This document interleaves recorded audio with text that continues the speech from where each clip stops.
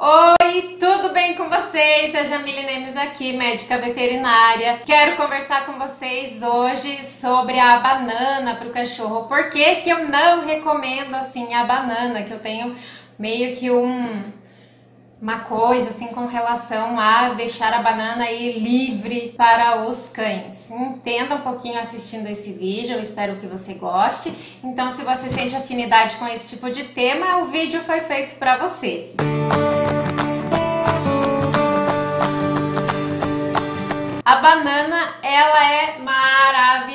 maravilhosa. Dificilmente alguém não gosta de banana, de coisa de banana, bala de banana é maravilhosa. Ela é doce, excelente quando você tá numa dieta e precisa, assim, você tá louco para comer um docinho, então você vai lá, come uma banana. Claro, depende da dieta que você tá seguindo, né?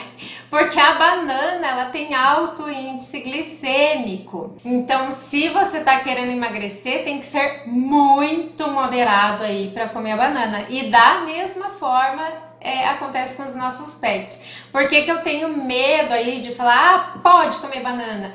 Porque se o seu cãozinho ele já tiver também alguma doença pré-existente ou se ele tiver tendência à obesidade, a banana não é um alimento que eu ofereceria, entende?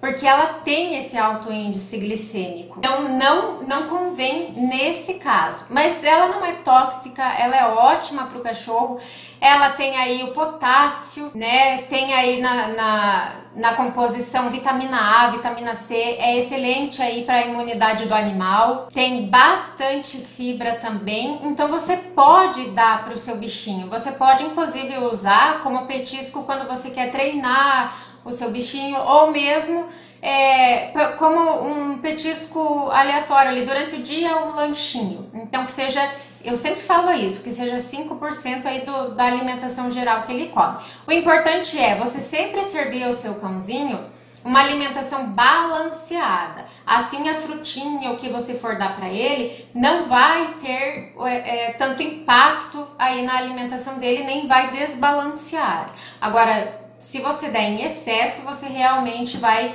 gerar um problema aí para o seu cãozinho, tá? É importante saber que a banana você não pode servir com a casca. É da mesma forma que a gente come. E sempre, gente, eu sempre falo isso, respeita o organismo do seu animal. Ele lá é um cãozinho saudável, você sabe que ele não tem doença nenhuma, mas se você der a banana e você vê que ele não responde bem a esse petisco, você não dá mais. Quer dizer que a banana para o seu bichinho é proibida, entende?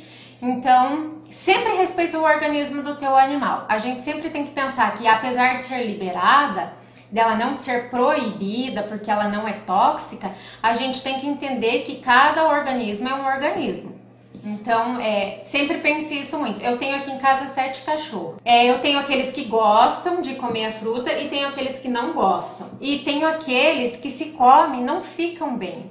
Você percebe que, que, que a, a, fruta que você deu não caiu bem, ou você vê nas fezes que teve uma alteração aí da textura, do cheiro.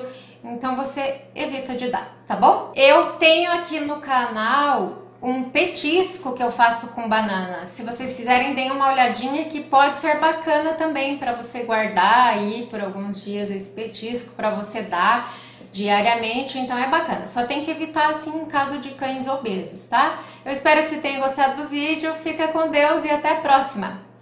Tchau, tchau.